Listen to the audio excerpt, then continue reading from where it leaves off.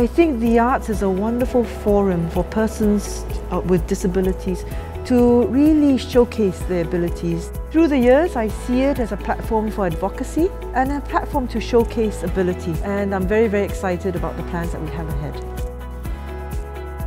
on that level, issues of, you know, like the social model of disability, social structures that can move, and you're not just talking about physical structures, you're talking about systemic structures that can just shift a little bit to allow for more access, to allow for recognition of the qualities of disabilities. We could unite all disability groups to do some art programs together, be it um, performing arts or visual arts, so that we can actually showcase the talents or to collaborate with us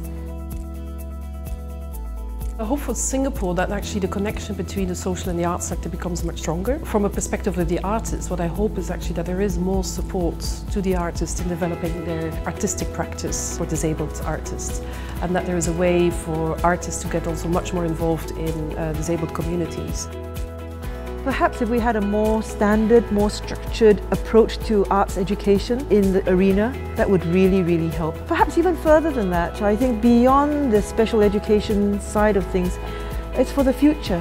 What can we do to build up the foundation so that some of our young people with disabilities will really have a profession, a job in that field?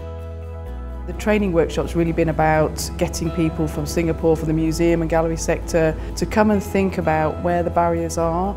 I think some of the disabled people that have been at the forum as well have been really excited by the ideas and the changes.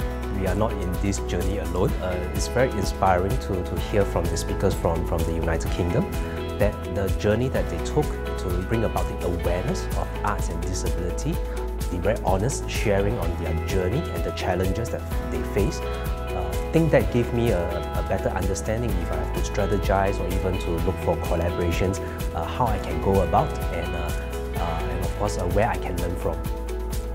I think one of the biggest things to me that was resonating was how arts can be a leveling tool, how arts is a vehicle uh, for social change.